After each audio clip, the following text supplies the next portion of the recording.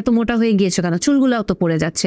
নিজের একটু যত্ন নাও না, শুধু কি বাচ্চার দিকে তাকালে হবে, স্বামী তো ছেড়ে চলে যাবে। হাজারো এরকম কথা থাকে। কীভাবে আমি আমার আশি কেজি থেকে সাতান্ন কেজিতে পৌঁছে গেলাম? অন্যজনের লাইফে যেটা ফিট ইন করেছে, আপনার লাইফে ওটা ফিট ইন করবে ওটা হুবহু আপনাকে ফলো করতে হবে।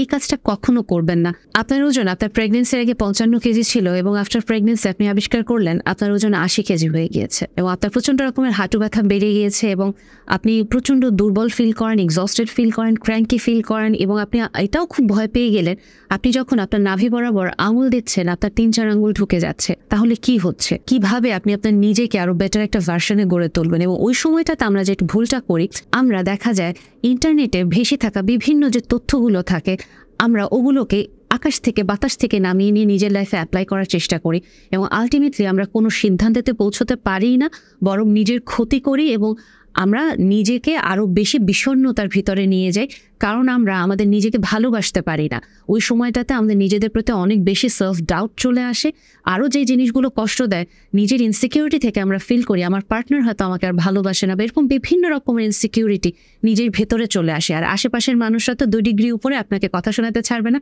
এত মোটা হয়ে গিয়েছে কেন? চুলগুলাও তো পড়ে যাচ্ছে। নিজের একটু যত্ন নাও না, শুধু কি বাচ্চার দিকে তাকালে হবে? স্বামী তো ছেড়ে চলে যাবে।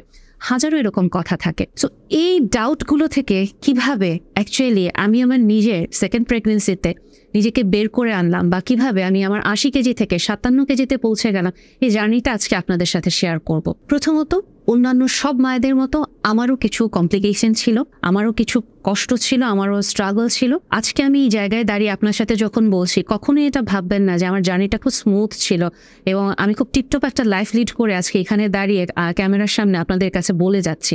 না স্ট্রাগল সবার লাইফেই থাকে। মূলত আমার প্রেগনেন্সিতে আমার জেস্টেশনাল হাইপোথাইরয়েডিজম জেস্টেশনাল ডায়াবেটিস ছিল, পাশাপাশি ওজনটাও বেড়ে যাচ্ছিল। সো আফটার ডেলিভারি আমার ওজন আশি কেজি হয়ে যায় এবং প্রচণ্ড হাঁটু ব্যথা ছিল। ডায়াস্টাসিস একটি একটা টার্ম যেটা আমি বলছিলাম একটু আগে যে নাভি বরাবর আপনি হাত আঙুল ঢুকালে দেখবেন তিন আঙুল বা চার আঙুল ঢুকে যায়। ওরকম three finger four finger gap আমারও ছিল। কিন্তু যেহেতু আমি অলওয়েজ একটা ফিট লাইফ বা অ্যাথলেটিক লাইফে ছিলাম এই যে এক্সস্টন আমি নিতে পারছিলাম না, হাঁটু ব্যথা আমার নিতে কষ্ট হচ্ছিল, রেগে যাচ্ছিলাম আউটবার্স্ট হচ্ছিল। এবং ওই সময়টাতে আমার বড় মেয়ে একদিন আমাকে নক করল এবং বলল যে, মা, তুমি কিন্তু খুব রেগে যাচ্ছ, তুমি কিন্তু এমন মানুষ ছিলে না। তুমি খুব হাসি খুশি ছিলে এবং তুমি আমাকে নিয়ে দৌড়ে বেড়াতে। তোমার অনেক উত্তেজনা ছিল, ছোট মানুষ বোঝাতে পারছিল না। কিন্তু আমি জাস্ট এটা বুঝতে পারছিলাম। সে বলতে চাচ্ছে যে, মা, তোমার ওই উদ্যমটাকে আমি মিস করি, তোমার ওই ফিটার ভার্সনটাকে আমি মিস করি।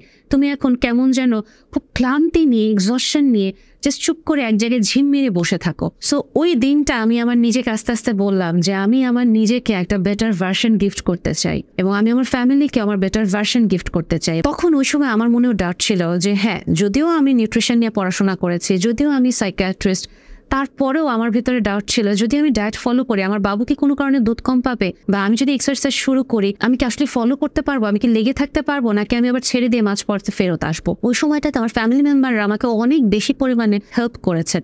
সব সময় হয়তো ওনারা হেল্প করতে পারেননি, কিন্তু যতটুকু সম্ভব কথার মাধ্যমে ওনারা অলওয়েজ আমার পাশে ছিলেন। আশেপাশের মানুষরা যে বাঁকা কথা শোনাতে চায় ওনারা তো অবশ্যই শুনিয়েছেন, কিন্তু আমি আমার নিজেকে অলওয়েজ ওই বাউন্ডারিটা সেট করে রেখেছিলাম যে আমার ফ্যামিলি মেম্বার বাদে কারও বাঁকা কথায় আমি কান দেব না, নিজের ইনার ভয়েসে কনভার্ট করতে দিব না। এবং আমি আলটিমেটলি আমার নিজের জন্য যেটা অ্যাপ্লিকেবল ওরকম একটা স্ট্রাকচার ডায়েট আমি ফলো করা স্টার্ট করেছি। একেবারে কি খুব না খেয়েছিলাম? না, আমি কোনো রকম ক্র্যাশ ডায়েটে যাইনি।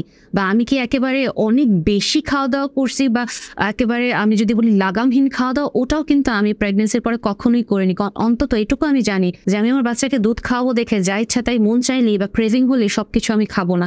যেটা আমি আমার ফুল প্রেগনেন্সিতে এবং আফটার ডেলিভারি আমি এটা খুব স্ট্রিক্টলি ফলো করেছি। আমার যতটুকু দরকার আমি অলওয়েজ অতটুকুই খেয়েছি। সাথে আমি যেটা অ্যাড করেছি হেলদি লাইফ স্টাইলটা আস্তে আস্তে করে আমি আমার ফুড হ্যাবিটটাকে মেনটেন করেছি, আমার যতটুকু দরকার অতটুকু খেয়েছি। বাবু যেন পর্যাপ্ত পরিমাণে দুধ পায়, এই জায়গাটা অলওয়েজ আমার মাথায় ছিল। আর এক্সারসাইজের ক্ষেত্রেও যেহেতু আমি বললাম ডায়াস্টাসিস রেকটি একটা টার্ম ওটার আমি সাফার করছি এবং স্টিল এটা আমার এখন হেলিং হয়ে গিয়েছে প্রায়, আলহামদুলিল্লাহ। সো ওই বেসিসেও আমি কিছু এক্সারসাইজ করেছি। আমাদের মায়েদেরকে বলা হয় কি যে, আপনার পেট তো ঝুলে গিয়েছে, আপনি ক্রাঞ্চ করেন। বিশ্বাস করেন, দিনে একশোটা ক্রাঞ্চ করলেও আপনার এই পেট কমবে না। কারণ এটার জন্য কিছু স্পেসিফিক এক্সারসাইজ আছে, যেটার মাধ্যমে আপনি আপনার কোরটাকে স্ট্রং করবেন, ধীরে ধীরে আপনি আগাবেন এবং আপনাকে স্টেপ বাই স্টেপ আপনার নতুন নতুন এক্সারসাইজ আনার মাধ্যমে এটাকে আপনাকে বের হয়ে আসতে হবে।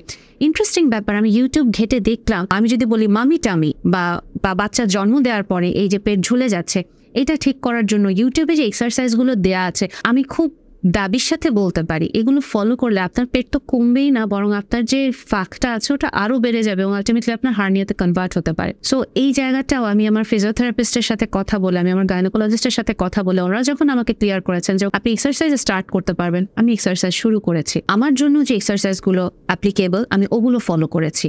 আমার জন্য যে ডায়েট প্ল্যান অ্যাপ্লিকেবল ওটা ফলো করেছে। আমি কি কোনো স্পেসিফিক আনকমন খাবার খেয়েছি? মিষ্টি কুমড়ার স্যুপ বা বাদাম ভাজা বা একেবারে না খেয়ে থাকা বা ধরেন অনেক দামি দামি কোনো খাবার খেয়েছি? বিশ্বাস করেন নর্মাল ভাত, মাংস, মাছ, ডিম, দুধ, ডাল, এগুলো শাকসবজি, এ আর নর্মাল পানি, এগুলো খেয়ে আমি আমার ওজনটাকে নিয়ন্ত্রণে এনেছি।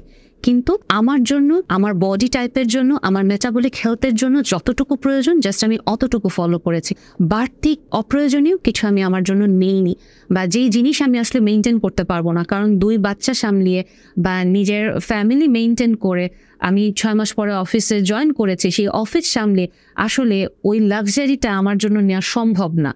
সো যেই জিনিসটা শর্টকাটে আমাকে হেল্প করবে, ওই জিনিসটা বা ওই পদ্ধতিটা আমি ফলো করে গিয়েছি। এবং আরেকটা জিনিস যেটা আমি একটু বলব যে শুধুমাত্র স্ট্রাকচার ডায়েট বা এক্সারসাইজ আপনাকে যতটুকু হেল্প করবে, আপনার পারিপার্শ্বিক কিছু পরিবর্তনও আপনাকে কিন্তু ভূমিকা রাখবে আপনার এই ওজনটাকে আস্তে আস্তে নিয়ন্ত্রণে আনতে।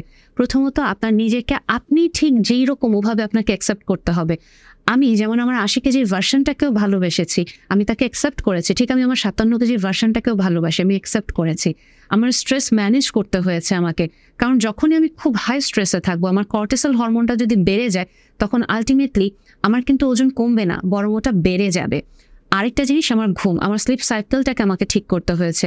যেহেতু ব্রেস্টফিডিং মা এবং স্টিল আমার বাবু কোনো রকম ফর্মুলা মিল্ক বা গরুর দুধে অভ্যস্ত না। আমি বলছি না ফর্মুলা মিল্ক বা গরুর দুধ জিনিসটা খারাপ। এটা অবশ্যই যার যার রিজিক তার তার এবং অনেক মায়েদের জন্য ইনফ্যাক্ট আমরাই এটা সাজেস্ট করে থাকি যে আপনি আপনার বাবুকে এটা দেন। সো যেহেতু আমি ওই জায়গাটা বলছি ফোকাস করছি, যেহেতু আমার বাবু ব্রেস্টফিডিংয়ে অভ্যস্ত সো ঘুমের একটা স্লিপ সাইকেল কিন্তু আমারও প্রবলেম ছিল।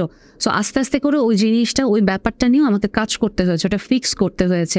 যে কতটুকু হলে আমি ন্যূনতম ছয় ঘণ্টার একটা ঘুম মেনটেন করতে পারব বা আমি কীভাবে আমার নিজেকে আস্তে আস্তে একটু হেল্প করতে পারব। সো ওভারঅল এই জার্নিটাতে structure diet structure exercise plan plus আপনার স্ট্রেস কন্ট্রোল আপনার স্লিপ সাইকেলটা মেনটেন করা, নিজেকে অ্যাকসেপ্ট করা অ্যাজ ইউ আর প্রত্যেকটা জিনিস আমাকে হেল্প করেছে আজকে এখানে দাঁড়িয়ে আপনাদের সাথে আমার এক্সপিরিয়েন্সটা শেয়ার করতে। সো দয়া করে আমি অনুরোধ করব ইন্টারনেটে যে তথ্যগুলো আকাশে বাতাসে ঘুরে বেড়ায় বা অন্যজনের লাইফে যেটা ফিট ইন করেছে, আপনার লাইফে ওটা ফিট ইন করবে, ওটা হুবহু আপনাকে ফলো করতে হবে। এই কাজটা কখনো করবেন না। আপনার জন্য আপনার প্ল্যান স্পেসিফিক আপনার জন্য আপনার প্ল্যান ইউনিক সো আপনার জন্য যেটা অ্যাপ্লিকেবল ওটা ফলো করে আপনি আগাবেন। নিজেকে অ্যাকসেপ্ট করেন, আশেপাশের মানুষের যত কথাই আসুক না কেন, আপনি এগিয়ে যান। আরেকটা জিনিস আপনি যখন দুগ্ধ দান করেও আপনি ডায়েট ফলো করবেন, আপনাকে কিন্তু আশেপাশ থেকে অনেকেই বলতে পারে, তোমার এত শুকানোর দরকার কি? বা, এত এত আধুনিক মা হওয়ার দরকার কি? বা, বিভিন্ন রকমের আজে বাজে কথা আপনার কানে ঢুকবে। ওগুলো দয়া করে নিজের ভেতরে আনবেন না। বা, অনেকে যদি আপনার ওজন নিয়েও আজে বাজে কথা বলে, আপনাকে ইনসিকিউর করে দিতে চায়, ওটাও নিজের ভেতরে আনবেন না। আপনি কি হতে চান, ওটা যেমন আপনি ভিজুয়ালাইজ করবেন, তেমন আপনি আপনার এই জার্নিটাকে ভালোবাসবেন। আপনার ফুডের সাথে আপনার একটা হেলদি রিলেশনে আসতে হবে। আপনি আস্তে আস্তে ইনশাল্লাহ আপনার একটা বেটার ভার্সনে আপনি পৌঁছে যেতে পারবেন। সন্তান জন্মদান পরবর্তী সময়টা আমাদের জন্য কঠিন, কারণ ওই সময়টাতে আমাদেরকে শারীরিক, মানসিক একটা চেঞ্জের ভিতর দিয়ে যেতে হয়। পারিবারিক অনেক ইস্যু থাকে, ওগুলো আমাদেরকে নিতে হয় দৈনন্দিন জীবনে। তারপরেও আপনার জন্য এই জার্নিটাকে সহজ করতে আমাদের গেট ফিট প্রোগ্রামটি রয়েছে এবং আমার ট্রান্সফরমেশন জার্নিটি যেমন আমি শেয়ার করলাম, সেরকম প্রত্যেকটা মায়ের ইউনিক এক্সক্লুসিভ এবং তার সাথে ঠিক ওরকমই আমরা একটা ইউনিক এক্সপিরিয়েন্সের মাধ্যমে তাকে আমরা হেল্প করার চেষ্টা করি। তার ওজনটা কমিয়ে তাকে একটা সুন্দর হেলদি লাইফে নিয়ে এসে বেটার ভার্সনে কনভার্ট করতে।